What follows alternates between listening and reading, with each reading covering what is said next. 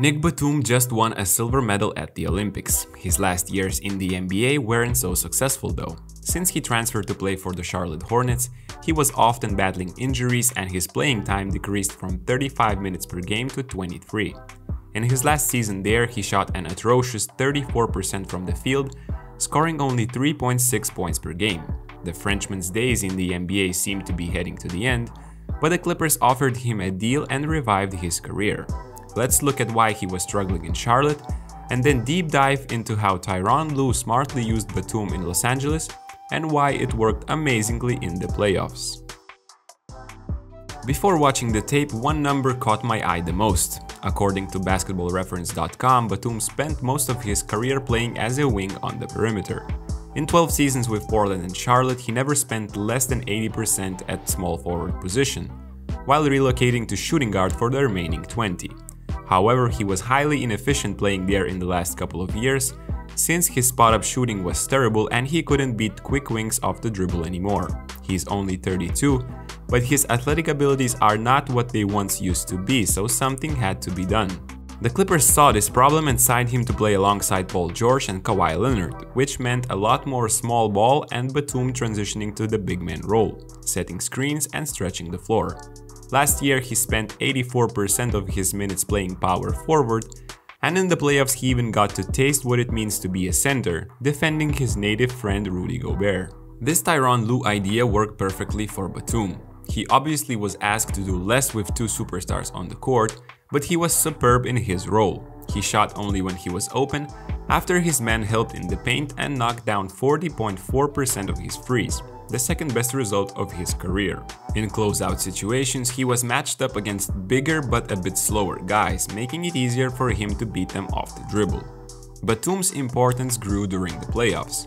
Clippers starting center Ivica Zubac was getting destroyed on the defensive end against the Mavs. He was dropping or switching against pick and rolls with Luka Doncic, and he couldn't stand his ground. Every time he stepped on the floor, Luka went on stunning mini runs, scoring 10 points and dishing out assists left to right in the matter of minutes. This lasted for the first three games of the Dallas LA series. After that, Lue decided to use exclusively only small ball lineups with Batum and Morris as the starting bigs. As a consequence, Batum and Terance Mann got to play the center position. This was the birth of the defensive plan against Doncic where Clippers switched all of the screens happening on the court. After that came a late double and it was important for LA to have mobile players in all positions for their rotations. This happened to be an efficient plan to stop the Mavericks. So Tyronn Lue kept the same plan against the Jazz and Donovan Mitchell. It meant more minutes to Batum and he delivered. In 33 minutes per game, he had a 10 point and 6 rebound average, but the most impressive part was his 52% shooting from three. You might wonder how did Batum get away with defending Gobert or Porzingis? It's actually easier than you could imagine. Both Dallas and Utah are constructed to play through perimeter with their guards controlling the ball most of the time. Their systems are pick and roll heavy so even with Batum guarding Gobert, there were no post-ups involved. This made life on defense for Nic a bit easier. While Batum's decline on the offensive end of the court is visible, he is still an above average defender, so when matched up against Mitchell or Jordan Clarkson, he still had some great individual defensive possessions showing his versatility. He is a high IQ defender, not jumping on fakes, rather using his length contesting the shots. The Jazz usually wanted Gobert or Favors to be the screen setters, but that brought Batum on Jazz perimeter players. Utah were immediately calling for another screen, not wanting Batum matched up against Donovan or Conley, thus recognizing him as a solid defender. We saw this happen more than once.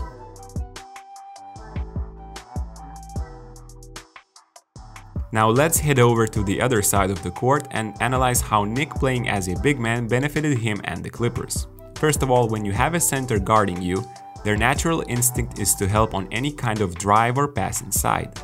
So with George, Leonard and Reggie Jackson penetrating and beating their own opponents, Batum had many opportunities for wide open threes. Gobert and Ayton left him open many times, counting on rotations, but Clippers did a good job of moving the ball quickly. The Frenchman shot 72 three-pointers in the playoffs, and only 7 of them were considered closely defended. If rotations did move fast enough, Nic showed off his unselfishness and why it should be hella fun to play with this guy. You can count on him making an extra pass every time he doesn't have enough space to shoot, his feet are not set, or he simply sees a teammate in a better position. I rewatched a couple of these games to get the clips and found many of these extra passes very quickly.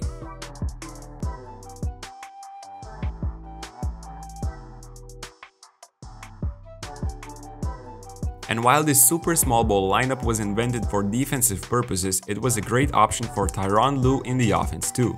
Having a traditional center setting the pick, or him standing around the paint would have meant dealing with Rudy Gobert around the rim. You can see here what it means to Clippers guards. They get to the rim but are forced to pass out since shooting over him is not the most attractive idea. Here, Kawhi is against Royce O'Neale and the only thing Gobert can do is stun towards him instead of jumping and contesting the shot around the rim like he's used to. Batum standing at the three-point line eliminates Gobert from the play and he is late to even close the gap. No one is helping O'Neale and Kawhi dunks the ball. Now here, look at Favors' positioning.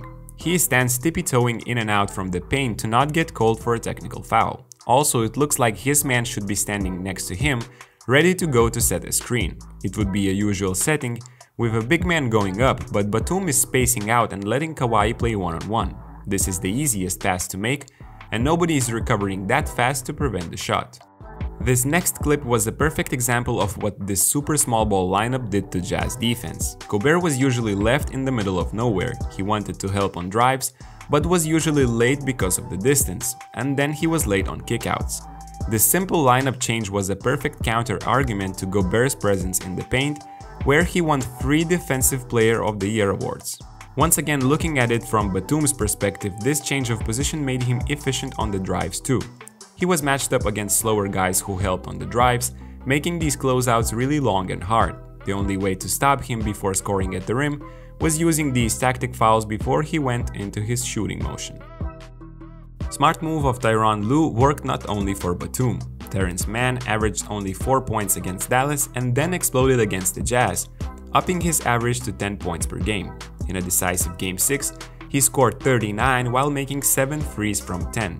Huge part of his success came when he was guarded by Gobert, who once again was caught in the middle of nowhere. From wing to big man, from using the screens to setting the screens, from creation to finishing the plays. This change of playing style was the main catalyst to Nic Batum's successful season in LA.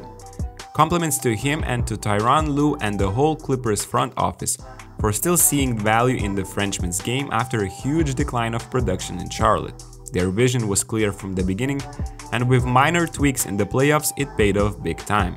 The Clippers reached the Western Conference Finals even with Kawhi Leonard suffering a season-ending injury, while Nic Batum got a two-year contract extension. Thank you for watching, don't forget to like this video and subscribe to the channel, and I'll see you guys next time.